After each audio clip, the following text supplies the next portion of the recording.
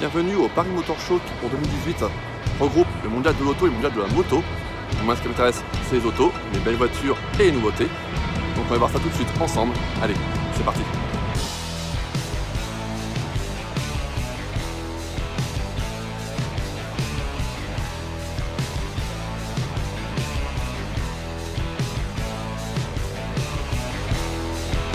Et on commence par le stand Peugeot avec la star du salon, une réinvention de la mythique 504, la magnifique et légende concept. Un concept car vraiment très réussi qui à coup sûr a plu au public. Une pétition a même été lancée pour la commercialisation de la voiture.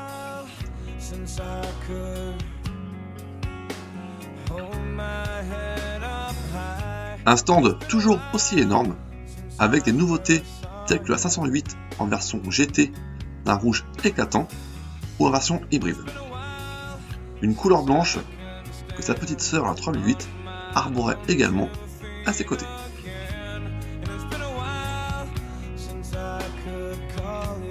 Et on finit le tour de ce stand par la branche sportive de la marque Olion. Et on enchaîne sur le constructeur numéro 1 français qui pour 2018, faute de grosses nouveautés, se focalisait principalement ses futurs concepts de voitures autonomes.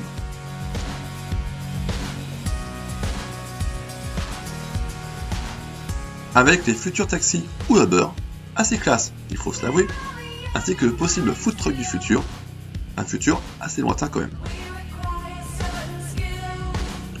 D'anciennes gloires du sport auto faisaient plaisir à découvrir, avec des records un peu oubliés malheureusement, ainsi que les plus récentes, comme la curie de Formule 1, avec un atelier virtuel vous pouvez se prendre pour un mécanicien pro et tenter de battre quelques petits records.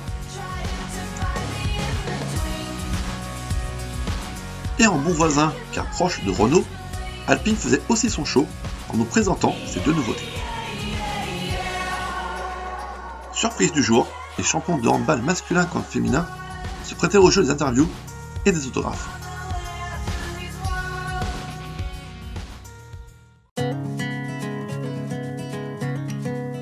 Prenons le chemin de la marque au chevron, avec un très joli stand très cosy, on se croirait presque comme à la maison. Une décoration très réussie, avec ses canapés, ses tables en bois ou ses tablettes. Mais malheureusement, sans réelle nouveauté à nous présenter. Mis à part, comme chez Peugeot, la version hybride de leur nouveauté principale, la C5 Aircross, qu'on peut retrouver également en une version un peu plus classique.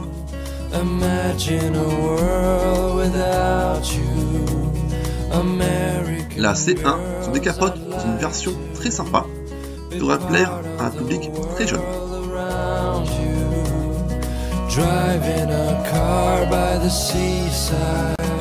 Et comme je suis voisin français, une place est faite à la branche sportive de Citroën.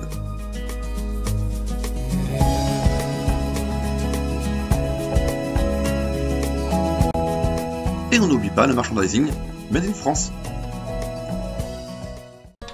Allons voir du côté luxe de la marque avec les nouveautés DS où trône au milieu de la salle la toute nouvelle Formule E.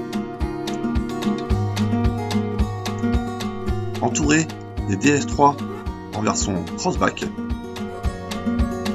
avec un système d'éclairage LED absolument magnifique.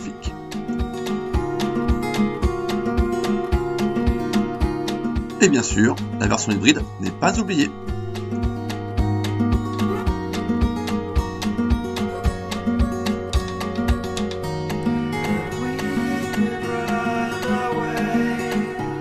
Mais la star était le concept car bien mis à part des autres nouveautés.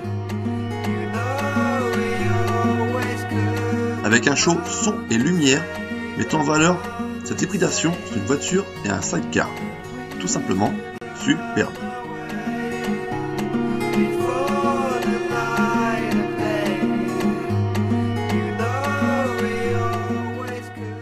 Passe vite fait sur le stand Suzuki pour s'intéresser à la plus classe des marques de voitures, Ferrari, avec, comme à son habitude, des merveilles qui font rêver à défaut de pouvoir se les payer.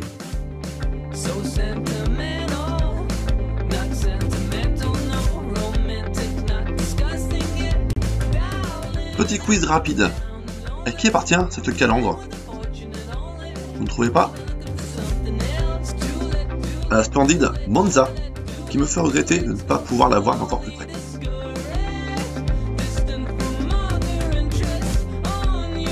Son voisinage proche n'est pas mal non plus.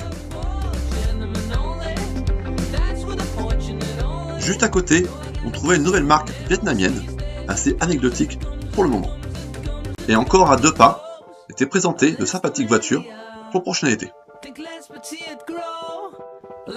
Mais le luxe à l'italienne est toujours là, avec des sublimes Lamborghini.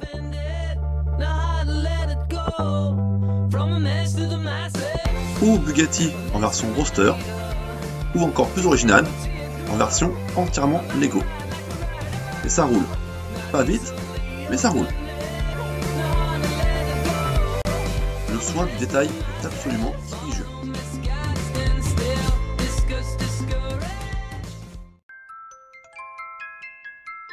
Une exposition temporaire relatant les grandes routes de vacances des 50 dernières années était présentée, comme pour la mythique National 7.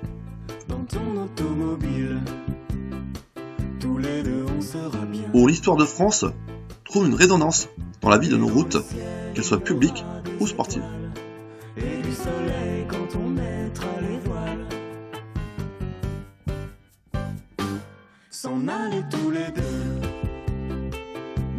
Sud de l'Italie et voir la vie en bleu, tout jouer sur un pari. Toute la nuit danser le calypso. Une exposition qui sent bon le soleil et la plage, et surtout, tous les vieux souvenirs en famille passés sur les routes. Une expo qui se conclut sportivement avec la mythique 405. Mais revenons dans notre présent avec une des plus grandes marques existantes, Mercedes, qui nous dévoile un somptueux concept car tout électrique, dénommé comme les Formule 1 actuels, Silver Arrow.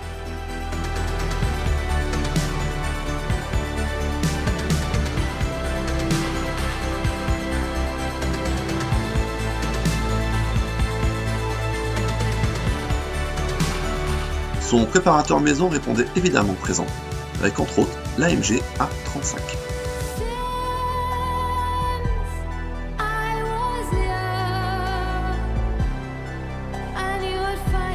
Une gamme très diversifiée, allant de la berline à la Formule 1, Formule 1 de l'année dernière, malheureusement. Escale chez l'américain Tesla, qui au fil des années voit son stand s'agrandir à vue d'œil avec une gamme de plus en plus variée qui plaira à coup sûr au plus grand nombre, moyennant quelques nombreux euros bien sûr.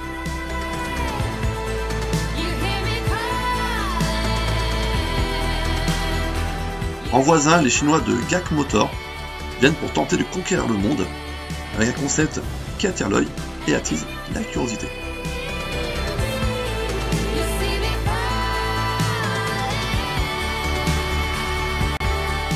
Mais où nous mène ce chemin coloré? Simplement à la nouvelle Smart 4A's, une délicieuse décapotable très mignonne et réussie. Et pourtant, je ne suis pas un fan de la marque.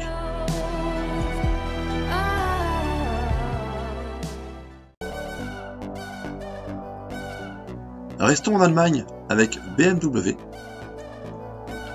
qui est venu avec ses toujours réussies voitures électriques mais aussi des nouveautés bien plus sportives.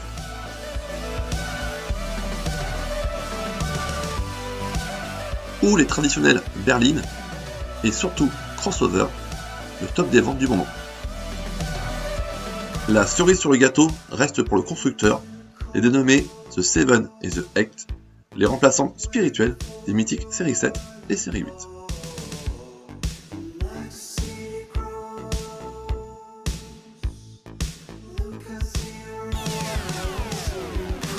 Admirons au passage, d'un hall à l'autre, magnifique 911.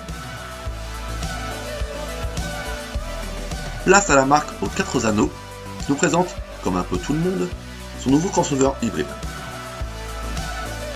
Ainsi que, heureusement, la toute nouvelle Audi TT en version sport et cabriolet.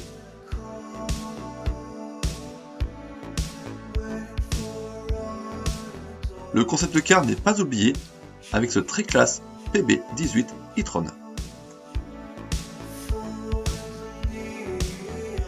Et bien sûr, l'inévitable branche sportive est présente avec la Formule E en version 2018 et l'Audi R8 LMS.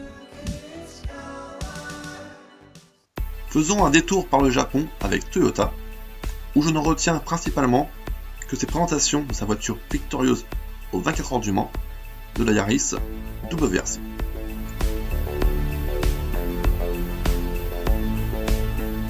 Et on finit cette journée par le stand de Porsche, venu nous faire rêver pour l'anniversaire de ses 70 ans, avec la toute nouvelle 911 Carrera GTS, mais aussi le toujours présent Cayenne et Macan,